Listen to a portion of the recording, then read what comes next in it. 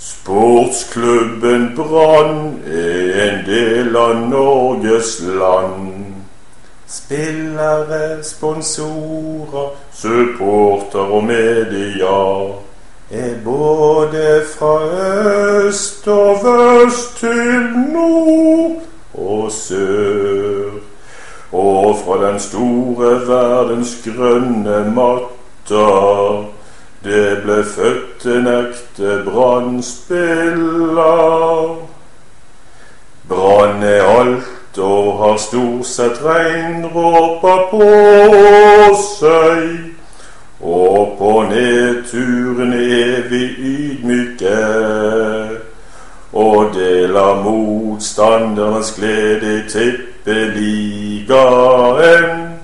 Men på oppturen er lykken lykken og brusende at vi alle kunne stått i kor.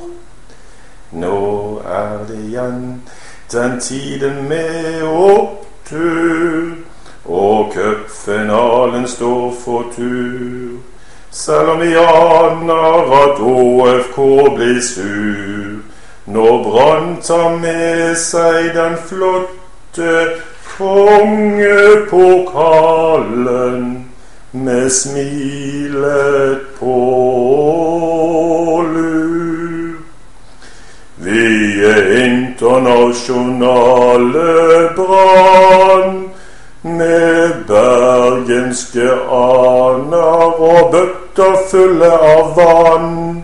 Men med seieren på Ullevål den sjette vil tippeligaens tabell smuldre bort som sand.